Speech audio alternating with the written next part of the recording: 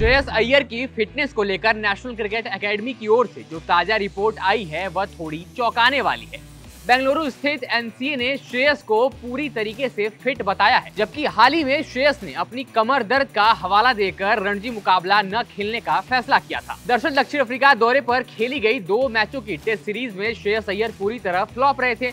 इसके बाद team India प्रबंधन ने उन्हें रणजी मुकाबले खेलकर अपनी लय खोजने की सलाह दी थी। यहाँ श्रेयस ने एक रणजी मुकाबला खेला और फिर इंग्लैंड के खिलाफ शुरुआती दो टेस्ट मैच भी खेले, लेकिन वह पूरी लय में नज़र नहीं आए। इसके बाद भारतीय चयनकर्ताओं ने उन्हें इंग्लैंड के खिलाफ आखिरी तीन मैचों के लिए स्क्वाड से बाहर कर दिया और उन्हें एक बार फिर रणजी मुकाबलों में हिस्सा लेने का निर्देश दिया गया। लेकिन इस बार श्रेयस ने कमर दर्द की बात कहकर रणजी मैचों से किनारा कर लिया। श्रेयस को मुंबई की ओर से बड़ौदा के खिलाफ होने वाले रणजी ट्रॉफी क्वार्टर फाइनल मुकाबले खेलने के लिए कहा गया था। यह मुकाबला 23 फरवरी, यानी आज से शुरू हो गया है और इस मुकाबले में श्रेयस अय्यर नहीं खेल रहे हैं। जब श्रेयस को इस मुकाबले में खेलने के निर्देश मिले थे, उसके ठीक बाद श्रेयस ने कमर दर्द की शिकायत की। मुंबई क्रिकेट संघ, यानी एमसीए के सूत्रों के अनुसार, श्रेयस अय्यर पीठ दर्द के कारण बड़ौदा के खिलाफ Ranji trophy quarter final match से दूरी बना चुके हैं। इसके बाद बीसीसीआई के निर्देश पर एनसीए में उनका फिटनेस टेस्ट हुआ और यहाँ वह एकदम फिट नज़र आए। अब उन्हें एक बार फिर बड़ौदा के खिलाफ मुकाबले में उतरने को कहा गया।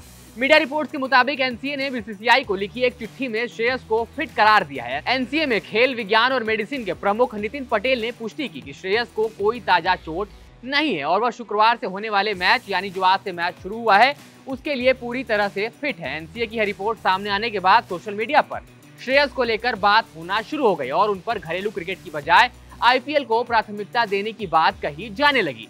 और अब इन सब के बीच पूर्व भारतीय क्रिकेटर इरफान पठान ने भी एक्स पर एक पोस्ट किया, जो श्रेयस अय्यर के मुद्दे की ओर ही इशारा करता है। इरफान ने अपने पोस्ट में बिना किसी खिलाड़ी का नाम लिए बगैर लिखा is there a different rule for different players for not playing Indian first class cricket in the name of looking after the body question mark यानी, क्या शरीर की देखभाल के नाम पर भारतीय डोमेस्टिक क्रिकेट नहीं खेलने के लिए अलग अलग खिलाड़ियों के लिए अलग अलग नियम है?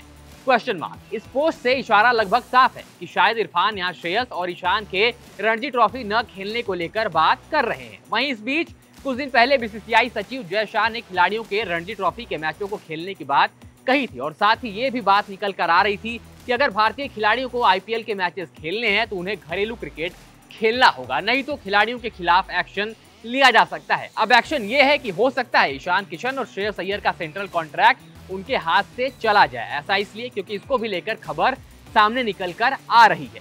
ये मसला हर बीतते दिन के साथ गंभीर होता दिखाई दे रहा है। अब इस पर आपका क्या मानना है? इसके बारे में हमें कमेंट सेक्शन में अपनी राय ज़रूर बताइएगा। अगर आपको वीडियो पसंद आए तो लाइक करिएगा शेयर करिएगा और स्पोर्ट्स से जुड़ी तमाम खबरों के लिए सब्सक्राइब करिएगा हमारे channel sports live ABP live को।